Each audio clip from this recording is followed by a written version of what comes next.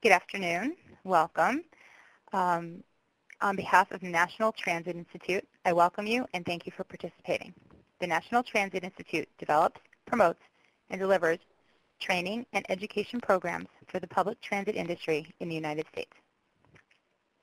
Today's webinar is on TCRP Web-Only Document 71, a transit agency guide to evaluating secondary train detective detection slash protection systems in communication-based train control systems.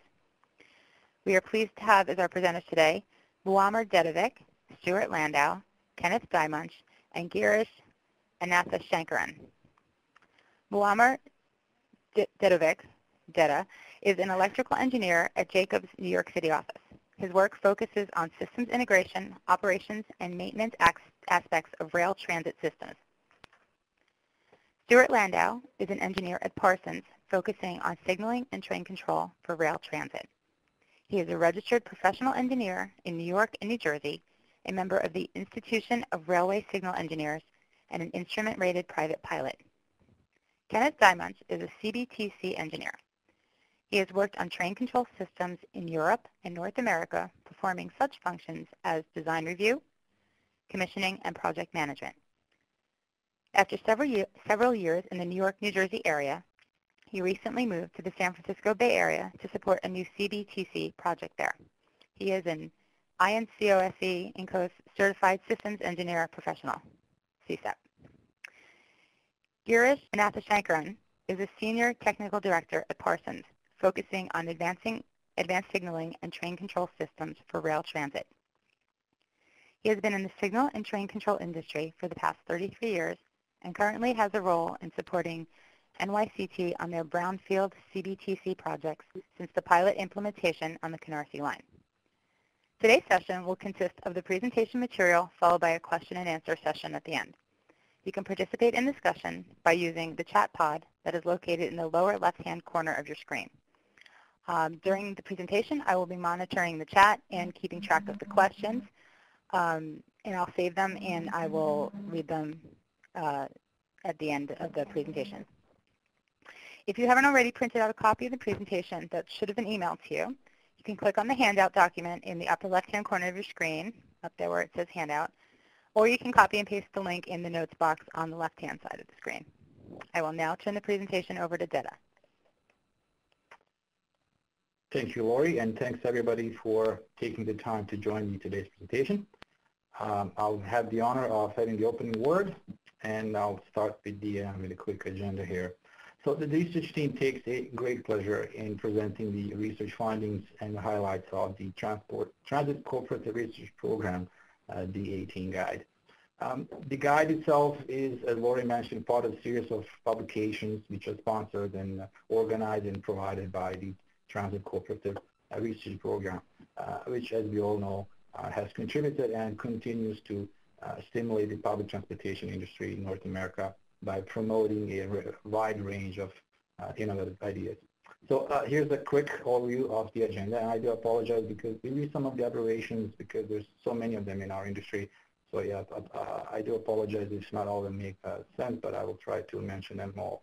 Um, we have four presenters today, um, and each one will cover um, respective items one through five. I will briefly describe a background uh, of the project and then provide high-level overview of the CBTC technology, and then Stuart will discuss the considerations uh, for the secondary systems, uh, and then Kenneth will follow with um, his take on the evaluation decision uh, processes and recommendations, and then Girish will conclude with some closing remarks, and upon which we'll uh, open the floor for the questions.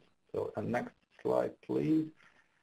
Um, so the official name of our research report was the 18, and the aim of the research project was really to develop a guide that will provide a practical approach to evaluating an appropriate level uh, for secondary train detection and protection systems used in CBTC applications. Um, the development effort was supported by a team made up of six industry professionals, and four of which are actually present here today giving this presentation. Uh, the approach um, to this task was relatively simple. Um, it involved identifying and selecting a fair sample of representative CBTC projects for evaluation. Um, the selection was based on three basic categories, uh, projects that are already established, uh, the CBTC project already in operation, um, recently deployed um, CBTC projects, and projects really that are under development uh, type of uh, phases. And then we looked at the factors, uh, we identified and evaluated factors which led those transit agencies, the owners, um, elect a particular CBTC system. The choice is why, what, what drove those decisions, um, and whether or not those decisions led to use of um, secondary train detection system or not. Um, as part of this process, we also reviewed a great deal of industry standards, uh, industry adopted practices, um, as well as the emerging industry uh, trends over the past years. And we just tried to combine all these and sort of produce this result. And what we have found in general terms is there are many, many different types and levels and approaches to uh, use of secondary train detection system. And they frankly range from non-existent one and all the way to full-blown scale backup systems. So you can imagine, this was a bit of a very challenging and daunting task. Uh, so, uh, next slide, thank you. Um, the credits are due, as Lori said. Um, this project would not be possible without the um, sponsoring agencies. Um, again, the, the guide was conducted and developed through the Transit uh, Cooperative Research Program, TCRP, which is administered by the Transportation Research Board, TRB, and of the National Academy of Science. The project team would also like to thank transit agencies and CBT suppliers who participated in this study and, and provided feedback on CBTC systems and projects that they worked around the world. The assistance of those two, including the uh, sponsoring agencies, was definitely instrumental in helping us shape this, shape this guide. And next slide, please. Uh, so let me just uh, say a bit of background of what we've done and how we've done it. Um, the work started in February 2016 and lasted for about uh, 16 months. As I said earlier, the approach to the research program was involved a two-stage process. It was one was the, uh, the field research, and then the second stage basically involved development and production of the guide using the uh, results that we found in the field. So the research uh, focused on collection and, and review of literature and standards, and then we followed um, by collection and study of the lessons learned and experiences from a select sample previously, as I said earlier, completed, currently ongoing, and planned uh, CBTC projects. Uh, those reference projects were mainly North America, Europe, and Asia. As you probably know, those are the three hottest uh, markets that have been uh, active and continue to be very active in terms of the CBTC deployment. So there's a pool of interesting facts that, that, were, um, that, we, that we were able to collect from those. So the implementation of CBTC presents a number of significant challenges, and we believe there is a significant value in documenting those experiences uh, from the transit agencies and project teams that are involved and how they really went around uh, addressing those challenges and issues. So this just helps not, um, not just learn and understand what those issues might be, but also helps us understand how fully to realize and the benefits offered by CBTC, uh, CBTC technology. So as a result of this exercise, we reached out to about 30 different transit agencies, um, and then in the end managed to get responses or had directly visited and interviewed about 20 of them. Um, this also involved reaching out to major CBTC suppliers, and there is only a handful out there, and basically collecting their feedback uh, and getting their perspective on on, on the projects, as opposed to getting the perspective from the end user. So um, the research phase also focused on development of case studies. We thought it would be very beneficial to uh, involve um, transit agencies that, um, that have been operating CBTC for, uh, for quite some time.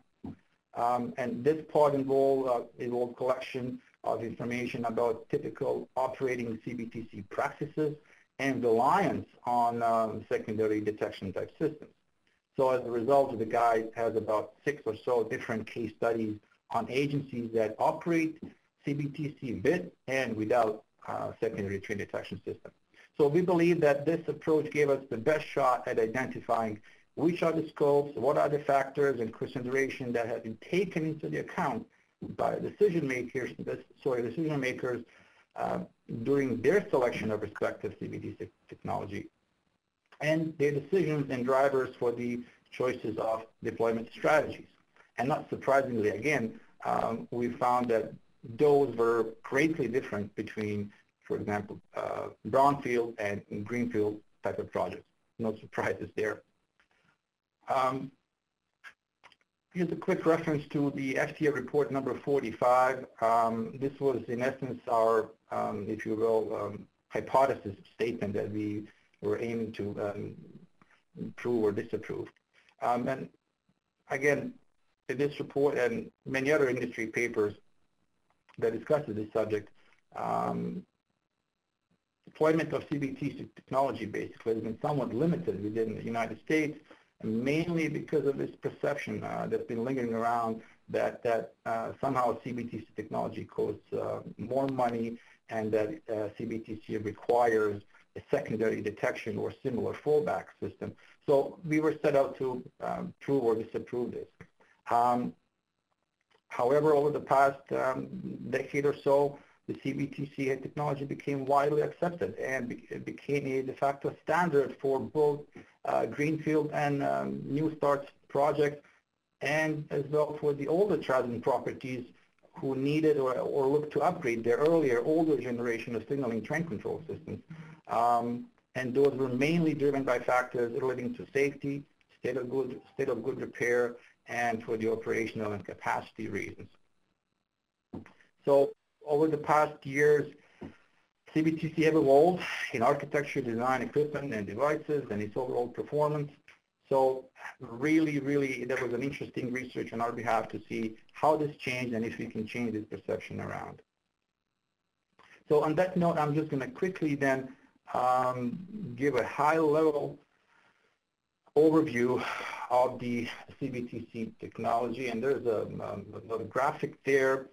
Um, and again, I'm going to use the definitions uh, defined by the FTA report 45, and which defines the CBTC as a train control system, which utilizes a two-way communication between um, what they call intelligent trains and wayside computers, mainly for traffic management and control of the infrastructure. And as you can see, there are four major items there. And so let me just quickly start with the uh, train board equipment. Um, and again, they define train as an intelligent train, uh, a train that can determine its own location, uh, a train that can calculate and enforce a safe operating speed without the use of tracks, circuits, or any wayside signals. So what that means really is that the onboard system is in charge of this continuous control of its speed, a continuous control of its brakes, and all it does all this uh, in, in accordance to a prescribed safety safety profiles. Um, the onboard equipment located in, in the cabin inside the um, train is also in charge of the communication with wayside and sends this um, status on train speed and safe braking distances back and forth um, between the wayside. Um, the onboard system generally um, composes um, of the vehicle onboard controller, carborne controller, antennas, speed sensors, tachometers, driver display, and other interfaces to um, vehicle, say, propulsion and brakes and doors. And then he handles the speed regulation, location of the train, rollback of the train, protection, station stopping, door operation, and so forth. Uh, all of those um, VOBC functions are performed via um, redundancies and uh, checks configurations just to ensure a complete safety um, and mentality. And, and these comms, depending on the architecture, could happen through the radio or inductive loops in some cases. Um, and so quickly just switch to the wayside equipment, um, and that's made up of the uh, a, a, network of the processor-based controllers, and we call them your zone controllers. And these are generally installed along different wayside locations. Um, each, each wayside controller interfaces with the automatic train um, supervision equipment via data communication network, and then this communicates with trains, big mesh.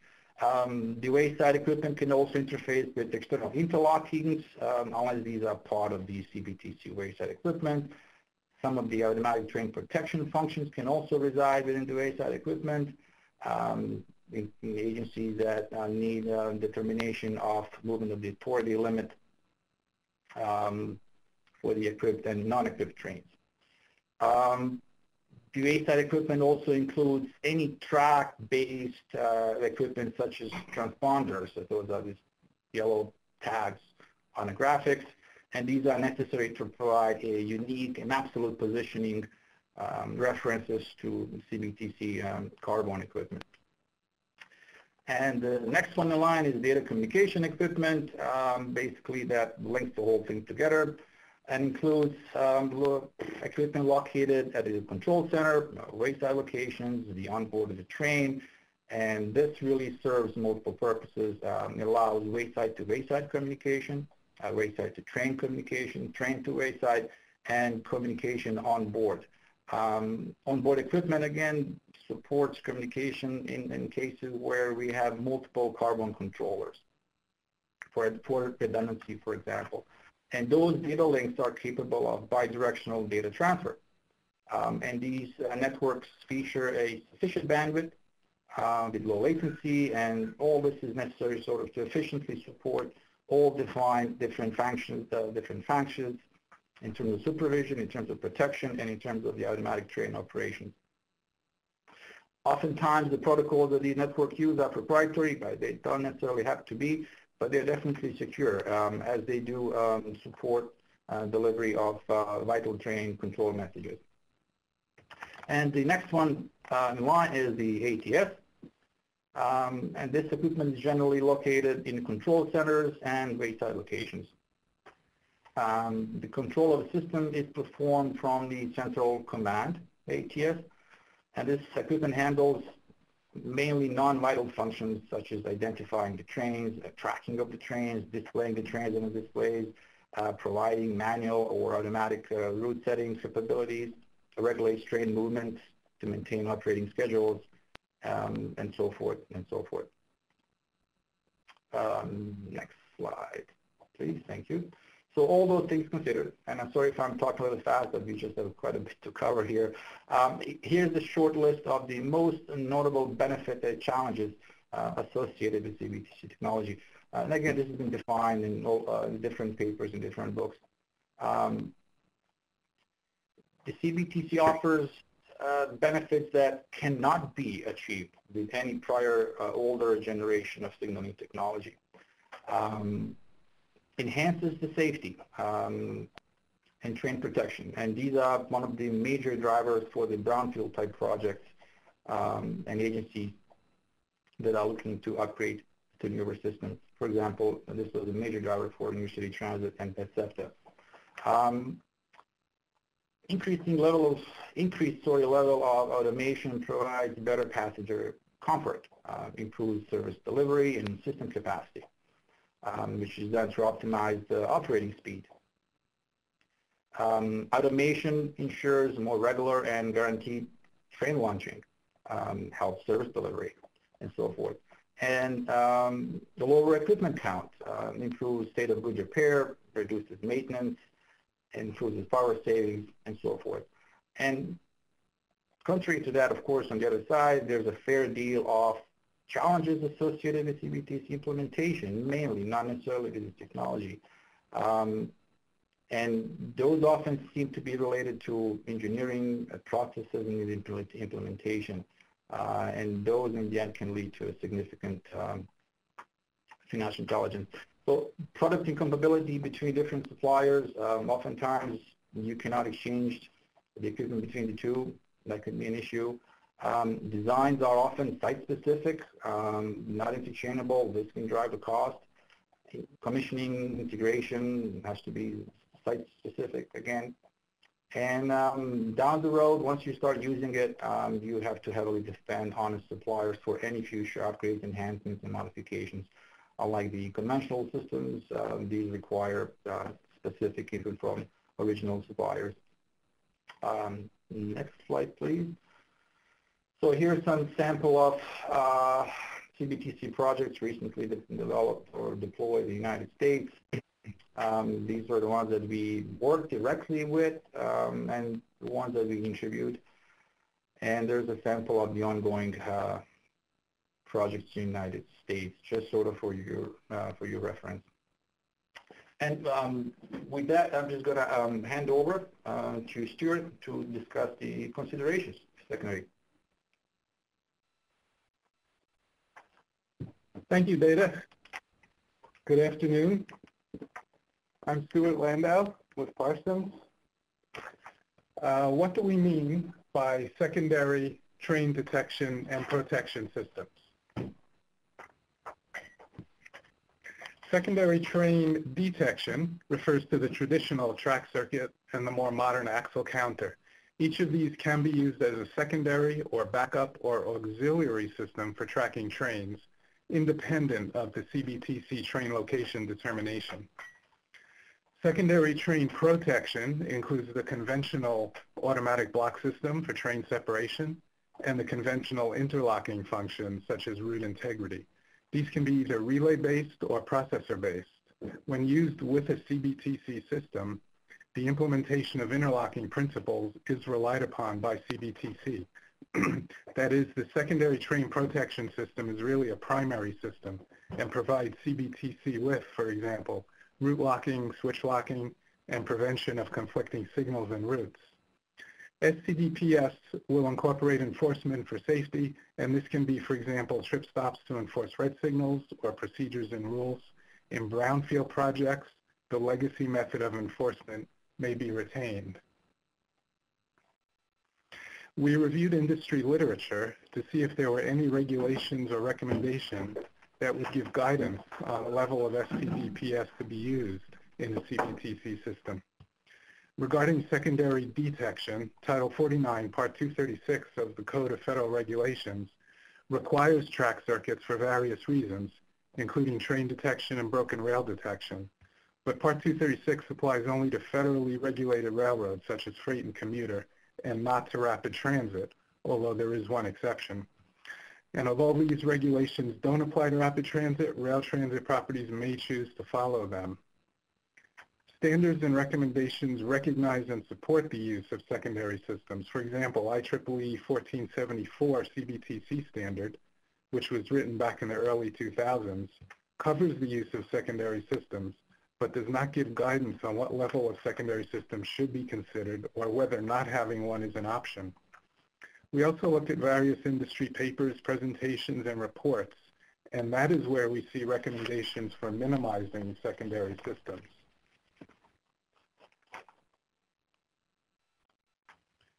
This is a comparison between track circuits and axle counters. I won't go through the whole table, but we'll point out a couple of the important comparisons. Track circuits require more wayside equipment and maintenance. Axle counters are not affected by wheel rail interface, ballast leakage, traction return currents, or poor shunting. When track circuits are used for secondary detection, they may be longer since they're not required to support peak headway. Their lengths are limited by feed power and ballast leakage. Axle counters have no limit on block length. Of course, axle counters do not detect broken rail, but even track circuits will only detect a percentage of broken rail. It must be a clean break, and the track circuit must be known to be vacant. A rail that breaks under a train will not be detected by the track circuit until the train has left the area.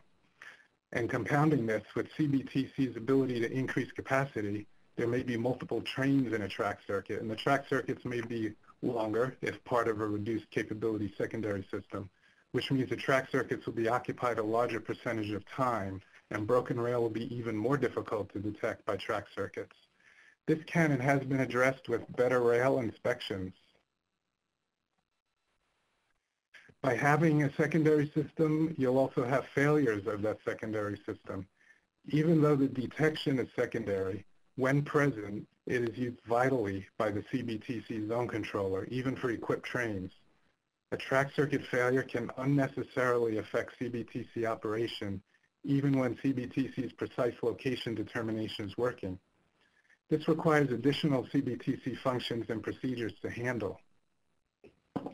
As explained earlier, secondary protection is really primary. It's used by CBTC and thus requires an interface between zone controllers and other wayside systems such as processor-based interlockings.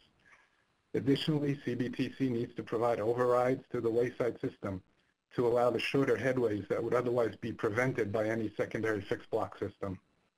All of the above increase complexity and reduce reliability and availability. Based on all the considerations and consequences so far, it is clear that the best option is the minimum level of STDPS that meets the agency's needs. But what if we don't have an STDPS at all? This requires rules and procedures for managing CBTC failures. These include wayside failures, such as loss of a zone controller affecting a large area, or carborne failures that affect one train and impact following trains. Rules and procedures will also be needed to handle work trains or maintenance vehicles that are not equipped with CBTC, especially when running them in mixed mode between revenue service, such as might be required on a 24-7 railroad. Mitigations are agency-specific and may include some level of redundancy to minimize system failures, and either equipping work vehicles or running them only during exclusive maintenance windows. To summarize the disadvantages of secondary systems, we've seen that they add complexity, increase costs, reduce reliability, and require additional rules for unequipped trains or when things go kablooey. On the other hand, STDPS can minimize impact of CBTC failures, allow tracking of unequipped trains, and allow running unequipped trains among CBTC trains. And now Kenneth will discuss the decision process. Yes. Hi, everyone. So uh, last part is about the decision process, but uh, uh, before we go into uh, the process that we propose in the guide, we have a few information to uh, to present.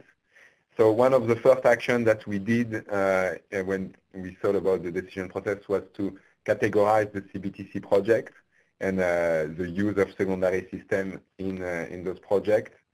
So of course uh, there was an obvious um, split between what we said type 1 is the one with secondary system and type 2 the ones without secondary system. But uh, among the one with secondary system, we had different uh, flavor, flavors. Uh, the first one is what we call type 1A. It's uh, the one uh, where secondary system is able to manage revenue service, whether it's for peak operation or, or uh, off-peak operation. And we presented some visual or graphical display to show the level of um, trackside equipment that the, this type of um, implementation would require. Uh, this was used originally in uh, brownfield projects. Brownfield projects are uh, resignaling project of existing line. I'll use this term uh, uh, in the presentation. So it was used in early 2000s by uh, early by um, NYCT Transit or RATP in Paris. And the issue is it comes up almost to doing the, pro the project twice, once for the secondary system and also and second time for the CBTC, and uh, also it leads to more maintenance later on. The second category of uh, project using secondary system is 1B, the one where secondary system is used to manage a single non-CBTC train. Uh, single non-CBTC train may be either non-equipped train, like a maintenance vehicle, or a an equipped train that has failed and is not able to operate in CBTC uh, anymore. And uh, here there are also different flavors based on the headway uh, that is required for the secondary system. So uh, the important part here is that the signaling system includes some sort of uh, protections, whether it's signals or signals and train stop, and does not rely entirely on operating procedures unlike uh, in the next uh, slide, where we have uh, where we have projects that uh, rely entirely on operating procedures for uh, failed, failed uh, train and non-equipped vehicles. So on 1B3, there is a secondary system, but it's used only for detection. There is no protection uh, involved. And uh, finally, uh, the type 2 is uh, no secondary uh, system at all. So it's still rare uh, all over the world, but and it's been done only on greenfield project so far. in the US, it's present in JFK AirTrain, and in Canada, for instance, one of the first CBTC project was in Vancouver for the SkyTrain. So that's for the categorization of a CBTC project. I still need to uh, provide more information uh, uh, before we go into the decision process. And you see later there is a parallel between each of this information and the decision that we will propose later on.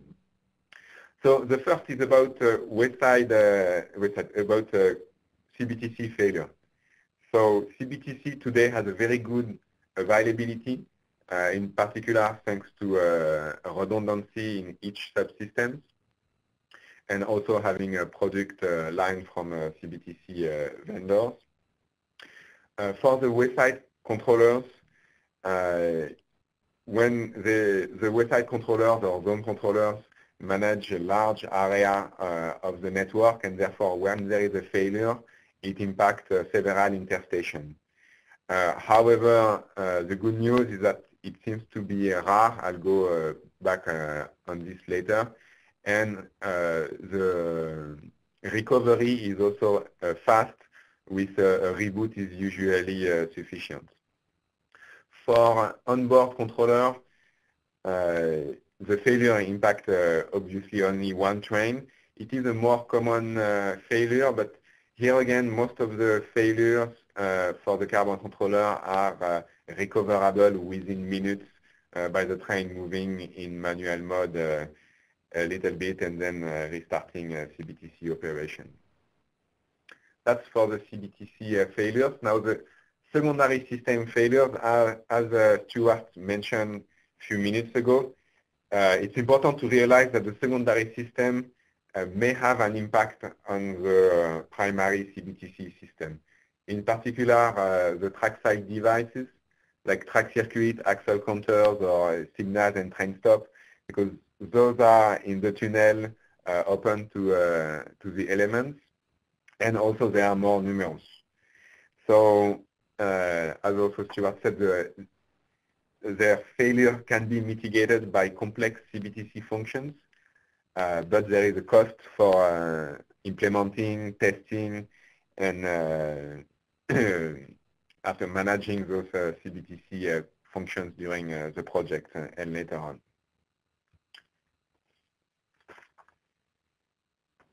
so now let's speak about the work train or maintenance vehicle. So here I'm, I speak about the track geometry car, rail grinders, high rails, for instance.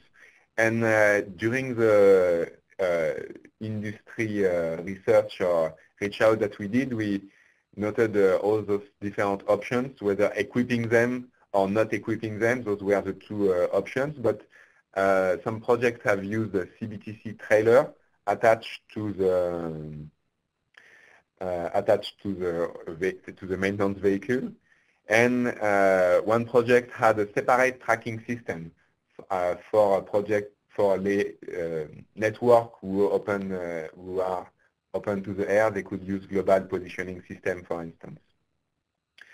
Uh, and one important uh, thing that the industry uh, uh feedback uh, told us is that there was no direct correlation between the presence of secondary system and uh, fitting of maintenance vehicle CBTC. For instance, Vancouver SkyTrain has no secondary system but did not equip their maintenance vehicle.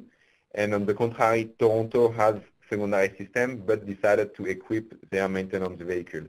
It's more complex uh, uh, than just having this um, uh, this possible uh, link between the two. It seems to be more related to the ability to avoid mixing maintenance vehicle and CBTC revenue service train. So now that we discussed about all this, we can go into the decision process. So obviously here we have only a one hour presentation, so uh, it's a summary of uh, what is in the guide. We have much more uh, detail uh, in the guide for each uh, step. Um, but let's go let's go over this now. So there was no magic formula. Uh, unfortunately, we would have liked to say, hey, if you have a certain number of trains per hour, a certain distance between interstation, it makes sense. Uh, no, unfortunately, it has to be an educated decision tailored to uh, each agency. So we have three aspects, A, B, C. Uh, I'll go over them uh, in the next slide. So uh, I don't describe them here, but uh, those ABC will tell us if we need a secondary system or not. And if we need one, then we have to go to the following steps. Oh, let me drink. Um, the first uh, part it applies only to a resignaling project, uh, obviously, because it is uh, it is it is due to the cutting how to cut over the CBTC system. It is related to how to cut over the CBTC system, and um, so there is a strong relation here with the rolling stock project. I, will give an example of a RATP Line 1 uh, project, which was a transition to a driverless uh, operation. The train did not have any uh, cab, and uh, they could not be delivered and stored uh, all uh, at once in the yard. Therefore, they had to be delivered one by one and put in service one by one. So there was a need to have a mixed fleet operation between uh, CBTC trains and uh, legacy uh, system, legacy trains.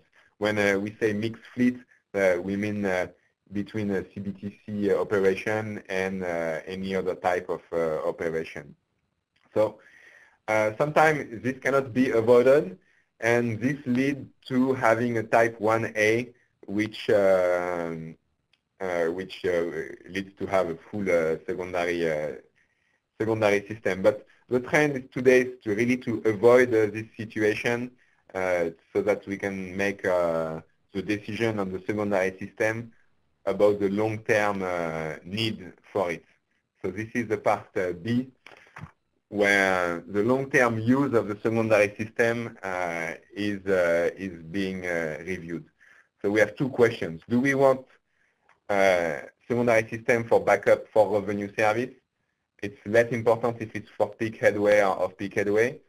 And if not, do we want a backup for a single uh, train with CBTC failure? So I have a few, a little bit more information about this. So there was an old perception, which now I think uh, uh, we can agree is uh, not uh, uh, correct anymore, that CBTC technology is relatively new so I think uh, this we could have here 10, 15 years ago, but uh, today, uh, as uh, it was discussed by DEDA, uh, showing all the projects only in America, uh, CBTC is widely spread. And there was also some discussion about the technology gap with relay-based interlocking. So this is also not um, as applicable anymore because a lot of uh, agencies now use solid-state interlocking or computer-based interlocking. So they are already getting used to uh, electronic uh, being present in the technical rooms. However, there are some uh, real concerns. as I mentioned earlier, the wayside controllers manage a large part, and when they fail, the, uh, the impact is on several interstations.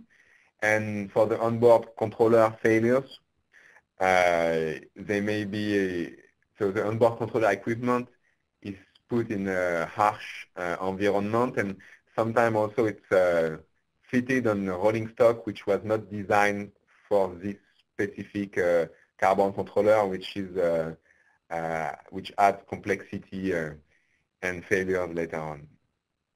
So the, let's mention the industry feedback about this. So for the wayside controller failure, the mitigation is to have a full system. If you can't operate over a few interstations, the mitigation will be to have a full backup uh, uh, for revenue service.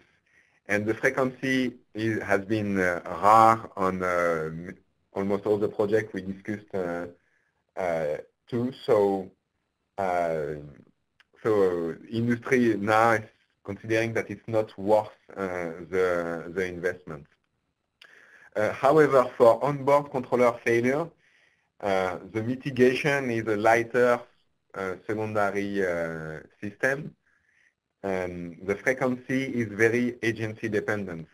Uh, it would have been very uh, useful if we could make, um, if we could have statistics, but it seems to be really project and, and, agency dependent. Some projects had have failure every day, and some projects have only one failure a month. So uh, uh, we, we could not derive um, frequency to be able to share in the guide, uh, unfortunately. So for this reason, most agencies still consider that it is uh, useful to have a secondary system to be able to manage single uh, failed train. And it's valid for both greenfield and uh, especially for brownfield projects. Um, but this might evolve uh, in the future. And the final aspect uh, is the handling of non-CBTC work train and maintenance vehicle. So I have to insist that this has to be a separate decision than the failed train uh, one to avoid uh, uh, one issue polluting the other one. However, the previous B part of managing single freight train is the most important uh, because for uh, work trains and, uh, maintenance vehicles, uh, there is a possibility, there is an alternative is uh, to equip them. Even uh, if equipping CBTC, equipping maintenance vehicle with CBTC is challenging, it is a possibility. This also has to be tailored to an agency because it depends on the diversity and quantity of maintenance vehicles. So uh, an agency with a few uh, maintenance vehicles or few types uh, is likely to be able to operate, to equip all of them. However, an agency which has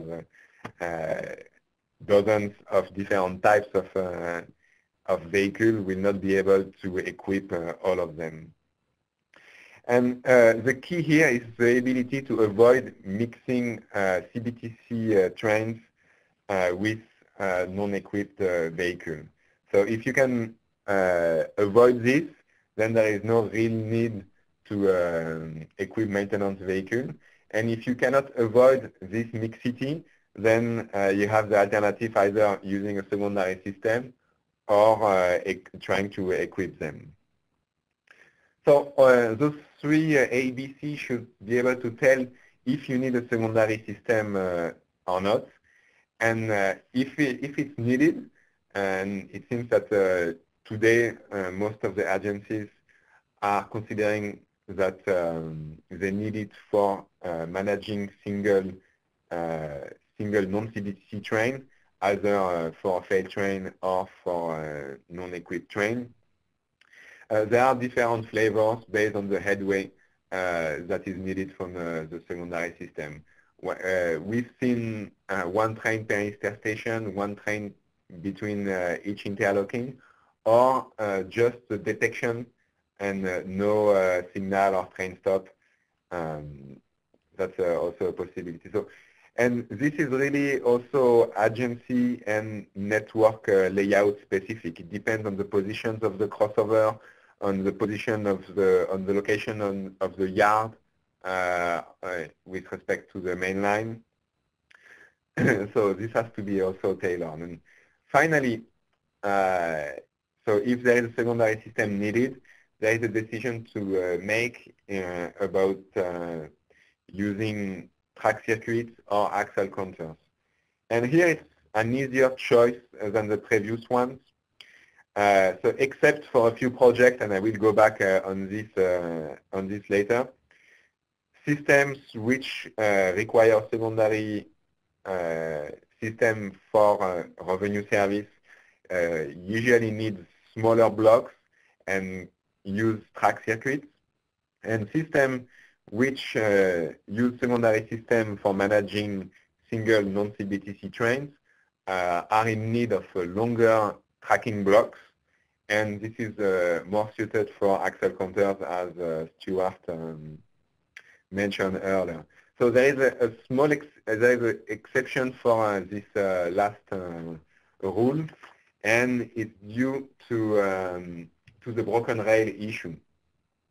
So, uh, like for the work train uh, decision, uh, I would like to insist that we recommend it has to be a separate decision and not start with the broken rail uh, uh, issue because uh, starting with the broken rail issue would lead to uh, using track circuit, which would lead to smaller blocks, and then uh, would lead to adding a few signals because they are the smaller block, the smaller blocks are present. So let's keep this as a separate issue as a secondary system. And I could make a full presentation uh, about uh, broken rail, but uh, let's just uh, keep it to a high level.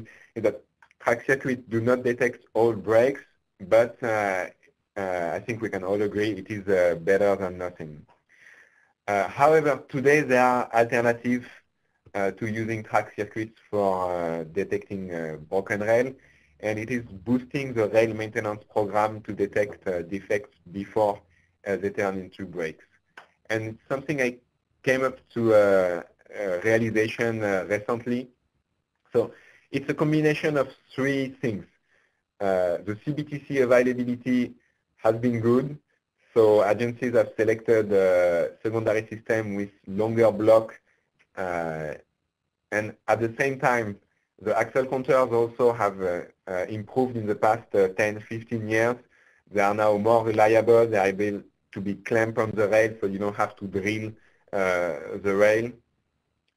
Uh, they can detect any type of uh, wheels, and soon fiber optic, there will be a fiber optic interface for the data. I don't think it's available, but there have been some demonstration projects on this.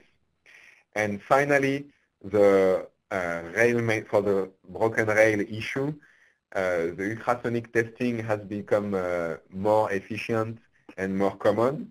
There are new tools on the track geometry cars, uh, which are more powerful. For instance, uh, LiDAR technology, which is a very interesting uh, new technology.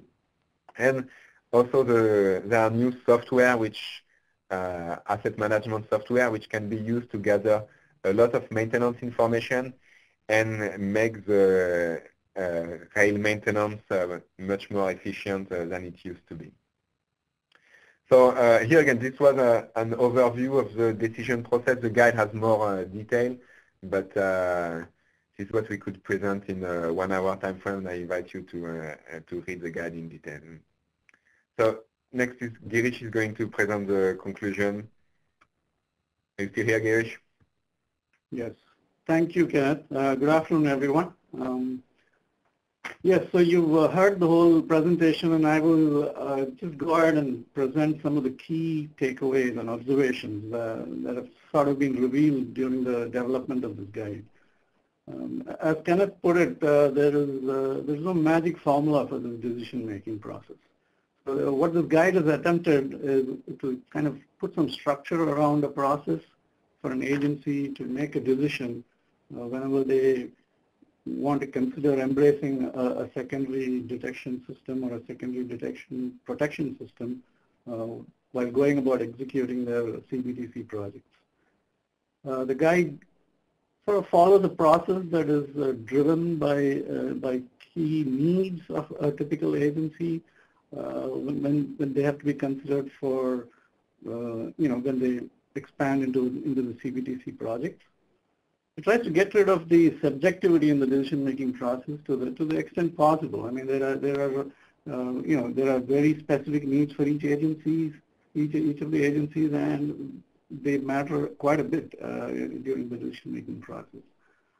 So some of the the team had also made some key observations on the on the industry trend that is going on in, in the CBTC area. Uh, First of all, there are uh, only a very few projects with, without some level or scope of uh, STD uh, or secondary systems and protection systems. Uh, specifically, uh, uh, the norm in the brownfield projects, which are existing project lines where CBTC is either being overlaid or CBTC is the choice for upgrading. Uh, the secondary system uh, seems to be the norm. I mean, it's probably driven by the migration and the phasing demands uh, and the demands for sort of continuing to maintain service while the CBTC project is being implemented. Uh, I'm sure there are cases where the original need was different. It was probably thought to help the migration process and then uh, as you go along the project, the agency takes the decision saying that it's not a bad idea to retain the, the secondary system because it also provides as a, as a backup uh, some, to, to some level. So continuing with the with the trend, uh, what what do we see there? I mean, looking at the summary of projects that that were looked at and the agencies that were interviewed, uh, it's it's pretty clear that the scope of the uh, secondary systems is getting smaller. I mean, if you were to just look at the North American market, uh, the contracts uh, that were awarded around the time frame of 2010, uh, for, for instance, uh, the New York City Transit or the PATH jobs, uh, they, they kind of adopted the secondary train detection protection systems for supporting off-peak revenue service. Uh, they extensively used track circuits, which was basically continued from their legacy systems. More comfortable with it. And it allowed the mixed mode operation to kind of seamlessly work. Off late, recent contracts, if you look at uh, what is happening in Toronto, uh, Baltimore and BART, uh, some of these are either uh, awarded or in the process somewhere. the intention is to use the secondary system only to manage failed trains and to, to you know, manage maintenance vehicle movement. And the, and the trend seems to be to go for the axle counters. As Kenneth mentioned, the larger blocks kind of drive uh, the axle counter decision. A shorter block would have driven uh, a track circuit um. Um, so if you look at the trend, it is somewhat, it, looks like it's appearing to converge to a midway solution with some adjustments in the scope for a secondary system. Uh, some of the influencing uh, factors could be that the CBTC technology over the years has matured substantially and uh, we, we, see a lot of stable operation in a, in a lot of large high-density transit projects. Also, as was mentioned earlier, the axle counter technology has improved and, and is being, you know, definitely being used in lieu of track circuits more and more. Um, so this begs the question, what, what is next? What, where, where does the industry go from here and uh, where is it headed? Will, will we ever um, end up in a, in a, in a storyline where we completely eliminate uh, the secondary system from CBTC projects? Well, uh, based on our study and whatever research was done under the study, our prediction is that it is definitely going towards reduction of scope and potentially towards eliminating the secondary system altogether, uh, even on high density projects. Uh, but there are factors. What, what, what will it take? Um, some of the factors were, were discussed in the presentation. Um, one is uh, you know, we need to have a way of improving the management uh, of non-CBTC uh, trains, especially for agencies that run 24-7 operation or close to 24-7. The management of these non-CBTC trains becomes critical. Um, also, how well can the failure of CBTC trains be managed? Um, probably with improvements uh, in, in a more robust carborne controller and carborne uh, controller interfaces or communication interfaces. Because typically on, on, these systems, when the smarts on the train increase, uh, the, the environment on the train is very harsh. And uh, the more robust that system goes, the failure on the CBTC trains goes down. So the confidence in the CBTC project or the system goes up. Uh, we should also, we also feel that the, the safety cases for uh, consideration, especially when, uh, when the implementation of a secondary system is being considered should focus on specific uh, production scenarios. And uh, it, it, should not be, you know, it, it, should be kind of taken into, into fact that the secondary system is meant as a backup, is meant as a, a, a fallback or uh, for specific scenarios. If you generalize the safety case, probably you end up putting a full-fledged uh, um, secondary system as a backup. And uh, that needs to be weighed in uh, with the agency's safety culture and the, the safety process as such. So the other area where uh, for maintenance vehicles, to help out the concept of uh, equipping the maintenance vehicles, the research should probably focus uh, on, in this area. Uh, again, the, the, typically the fleet for an agency is very small, uh, so getting hold of a cost-effective uh, solution for equipping the work trains or the non-CBTC trains, especially for, uh, for brownfield projects, this is going to be a big factor, and uh, the research should probably focus in that area. So this sort of brings us to the end of our uh, presentation. Uh, we thank you all for listening in. Uh, hopefully it has been uh, informative. And now I guess we will have an opportunity to, to respond to any questions. Probably Lori or somebody should coordinate. Yes, I'm I'm here to coordinate the questions. Um, I, I think some of the questions that were asked earlier on uh, were already answered. Do you want me to read those, or do you want to start with new ones? Uh, start with new ones, uh, I think, Laurie. Okay, I think, and again, if anyone's listening and your question was in the chat box and someone answered it, or you would like a follow-up, um, please feel free to type it now moving forward, because it did seem like uh, they were being answered as they were asked.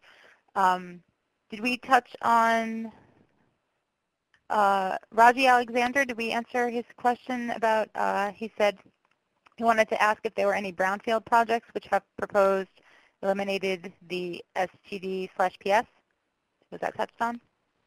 Uh, yes, but it, it would be a good uh, a good way to uh, to uh, re to say it again is no. Uh, so far, there has not been any uh, brownfield project who has taken a chance to uh, uh to do it. But uh, it is a probability that uh, in in the future it has it will it will happen. However, the conclusion, the last slide, show that there is still a little bit of work that needs to be done. We are close from it, but uh, there's a little bit of work and there is a, a need for so board agency to to say we are going to do it and be the first one. Uh, I think in the railway industry, nobody likes to be the first one to do uh, something. Okay. Um, the next question uh, is from Eric McCalla. It says, what is a good source for train-to-train -train distancing? And the question is on source literature, source, not vendor.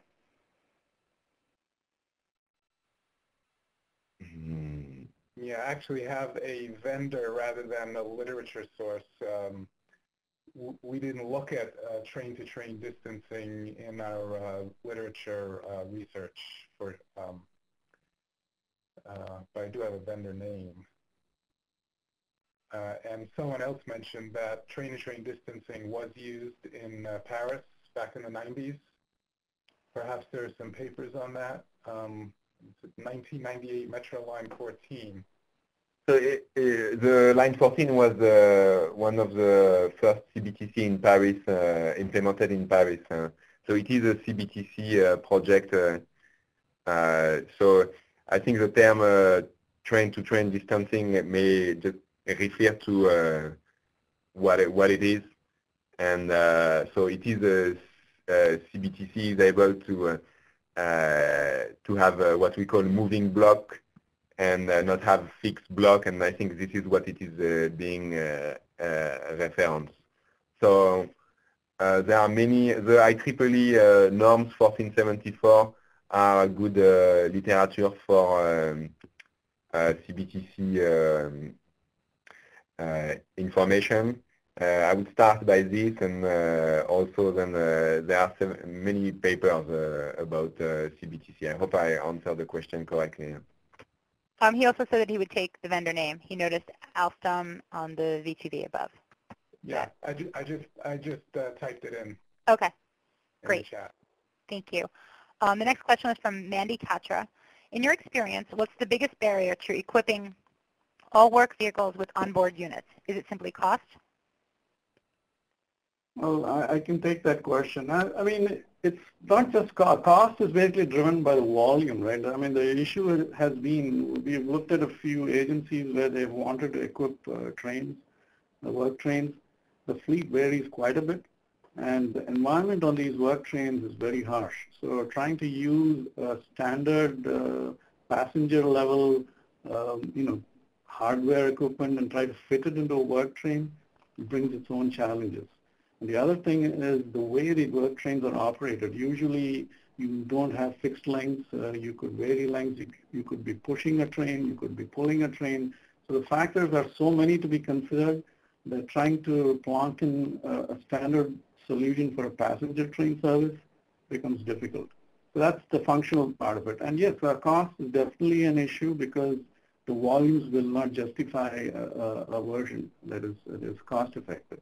So unless there are some uh, quick adaptations of a passenger uh, solution, passenger uh, service solution, um, you know, the work train thing is a challenge. Great, thank you. Um, the next question is from Bill Brown. Uh, does the IEEE CBTC standard 1474 provide requirements for the CBTC equipped trailer? If not, would it be a good idea to include it in the next standard revision?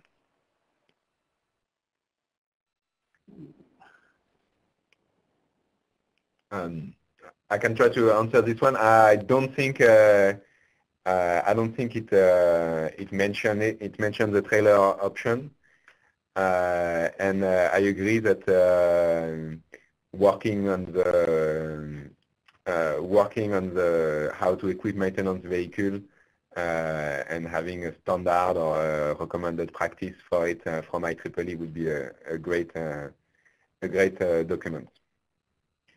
Yeah, I can also add to this. I mean, we've uh, we've tried to look at uh, this option for for large agency here, and the the, the requirements of meeting uh, you, you, know railroad standard for for a trailer ends up trying to use an old passenger car and try to equip it because the coupling, the the way uh, the harsh environment again uh, that it needs to withstand you know, it, and then the, and the, you have to make sure the trailer doesn't derail. So there's a lot of other factors more to do with the design of the work, uh, the, the trailer itself, rather than equipping of uh, the trailer. So in the end, what happens is you try to end up designing or, or, or having a trailer which is as good as any other passenger car or, or, a, or an older passenger car. That's that's how things go. And then people drop the idea of a trailer, saying, "I don't want to live with an older car." Uh, and it, it's still under discussion, but this is this is uh, this is also coming up during discussions. Um, okay, the next, where did I go? The next question. Um, how, how does the train operate when it misses a transponder and establish its location? So when the, when the trains go over a transponder, they get their exact position with pretty much zero error. And between the transponders, they're using onboard uh, tachometers and or accelerometers to keep track of their position until the next transponder. So usually when they miss a transponder, it will be alarmed because they're expecting a transponder in a particular location based on their onboard database and the error that is accumulated so far may be small enough that they can continue to the next transponder. But if the error does grow past a certain limit, they can no longer rely on their uh, onboard location without another transponder, and then they'd have to fall back to some uh, manual mode.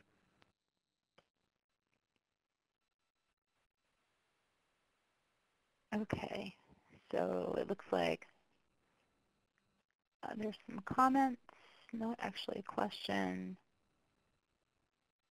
Patrick is questioning the spelling of trailer. I think that got worked out. Um, Callan asks, wouldn't it be cheaper to design a custom controller for work tractors rather than an entire secondary system?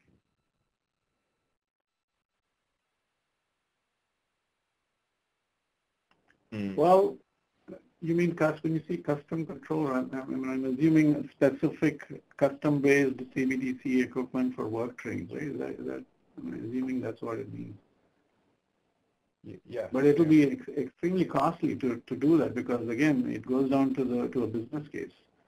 Uh, you know, the volume will not justify it. You have a fleet of typically, say, you know, take a take a project. If you have a fleet of, say, um, you know, 100 vehicles to do, and the, the work vehicles, maybe two for that line. You know, it, it's like you, you don't want to customize for a particular uh, particular car. It, the business case won't justify it. On the, on the other hand, yeah, an entire secondary system is very expensive too.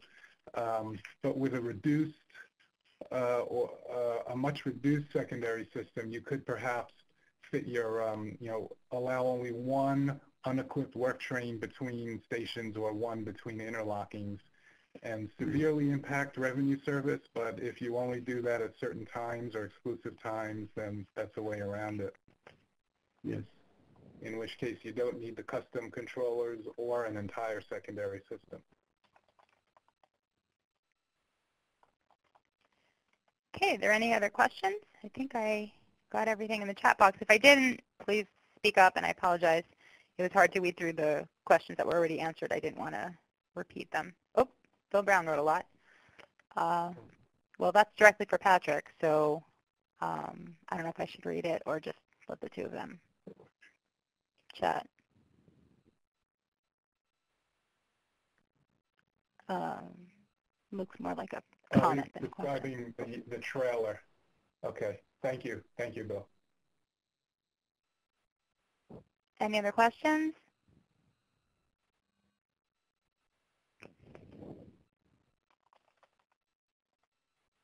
Looks like someone's typing. Just bear with us a second.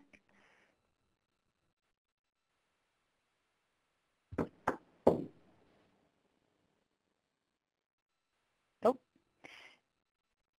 They might be typing to each other.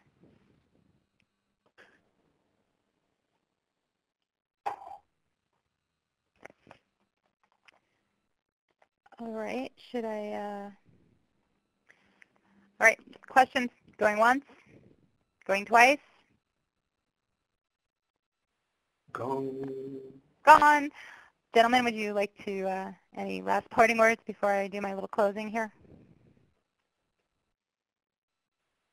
Thanks to everyone, and thanks to you, Lori, uh, to Thank you. to coordinate this. Yeah.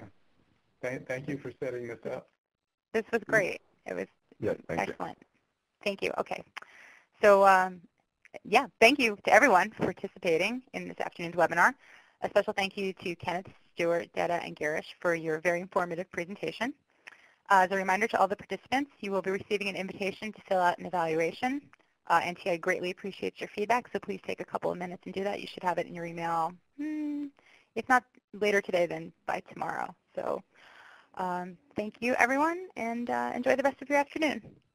Thank you. Thank you. Good afternoon. Bye. Bye.